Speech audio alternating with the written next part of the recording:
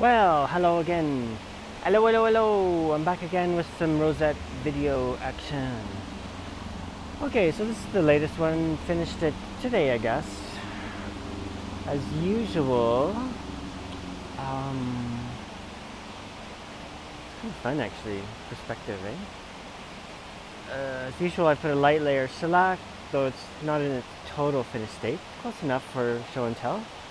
Uh, maybe I'll switch it around. Hang on a sec. Okay, uh, here we go. Okay, how about some close-ups? Uh, if you've been watching my exciting Rosette video series, you may notice that, ooh, this is quite a bit different design-wise. And you'd be correct.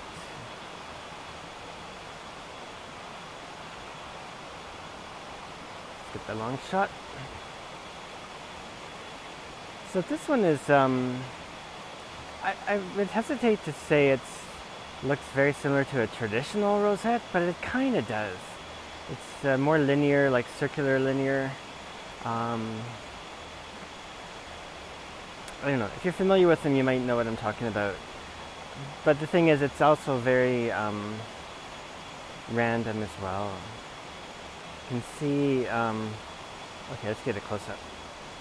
Oh, that's pretty good. Okay, so the dark brown and light brown, the dark brown dots, that's coconut.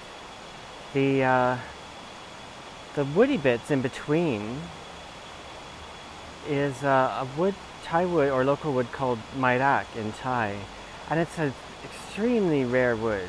Um, I have a piece here that my friends P. Ad and Gung Gung Gung gave me, and P. Ad said, "Oh, this might be the only piece you ever see of this stuff." Piece he had lying around. So I use it at certain times, and like one of my guitars, I made a bridge using it and stuff like that. Um, and then the little bits in between the white bits are the back to the maple, you know. There's a little bit of Padauk in there as well. Oh, like the the circular stripes, the or, the sort of orangey color, that's Padauk or Padauk, Padauk. Padauk, Padauk, Padauk. Yeah. The only thing is that these little white bits, I've got a bit of an ant infestation. above my studio. And so the ant eggs look a lot like those little white bits. So that's sort of what I'm seeing right now. Probably shouldn't have mentioned it. So after I do this, I have to get back to working on that um, problem, we'll call it. Um, yeah, anyway, that's that. Quite thin, though not as, it'll be thinner when it's finished. Yeah, I quite like it quite unusual. I'll probably go back to doing my other more swoopy ones, but this was fun to work on.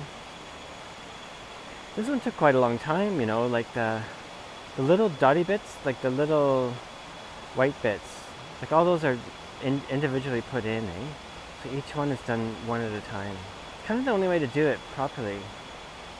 And on this one, what I did, sometimes I'll like put, use white glue and um, kind of glue the little bits individually and maybe put some glue in, in a space and stuff them in there.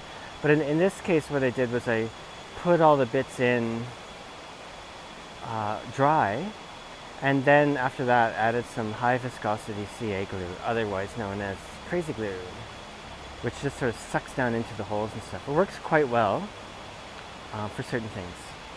And uh, for something like that, works really well, I find. Let's flip it. Yeah, so anyway, there you go. It's the latest one.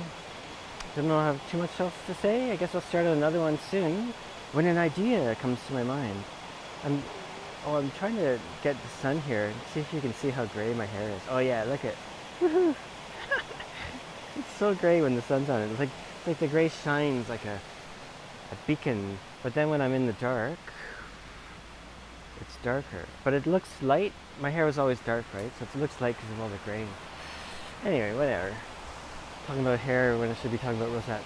Anyway, hope everyone's doing great and uh, was pouring rain earlier. Now it's sunny, so what can you do?